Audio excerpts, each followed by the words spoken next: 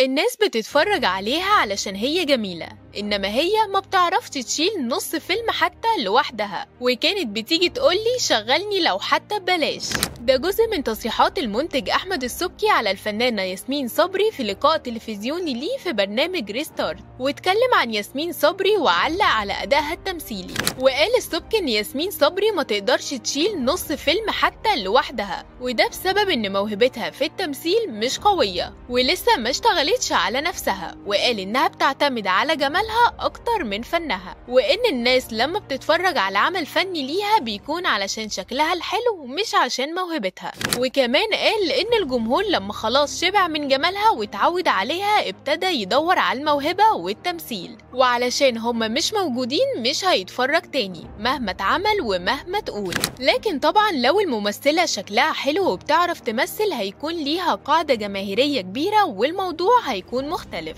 وقال ياسمين صبري كانت بتطلب مني أشغلها في أي فيلم وأي عمل من غير ما تاخد جنيه واحد.